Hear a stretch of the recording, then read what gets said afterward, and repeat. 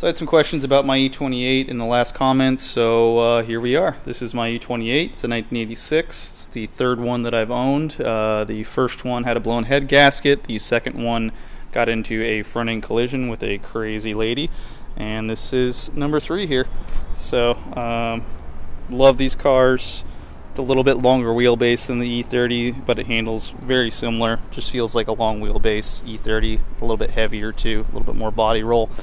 Um, so did the Euro bumper conversion on this one, did the Euro headlights too. Car looks really clean with that setup. I love it. It's a lot shorter than the factory diving board bumpers that you'd see on a typical uh, older BMW. Um, ESM wheels and a whole lot of parts from Ireland Engineering on here. We have uh, Ireland Engineering uh, exhaust, uh, front brake kit, which comes off of a BMW 850, the rear brake kit, which comes off of a E34 540. Everything just bolts right up, so it makes it easy to mix and match your parts here.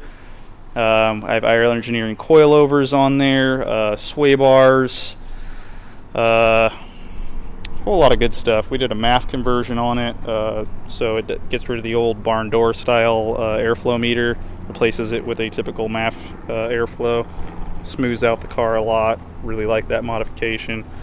Um, other than that, pretty simple car.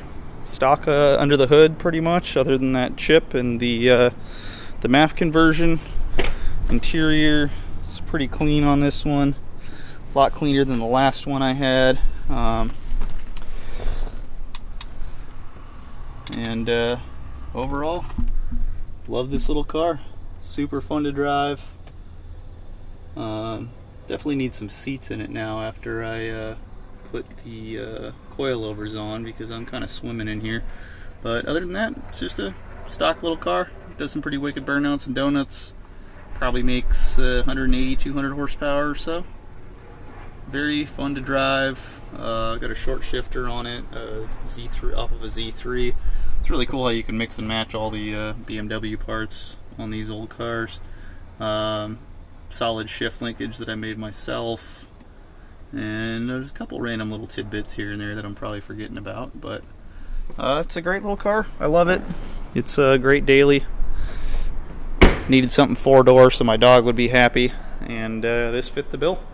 So I'm happy I got into it.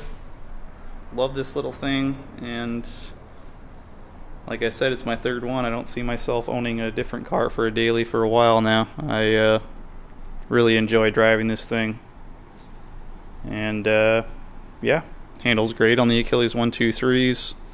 Burns them up pretty quick, but thankfully we uh, we get a good deal on them. So yeah, that's about it. My E28. Figured I'd have it all by the time I retired. I'd have me a car worth at least a hundred grand.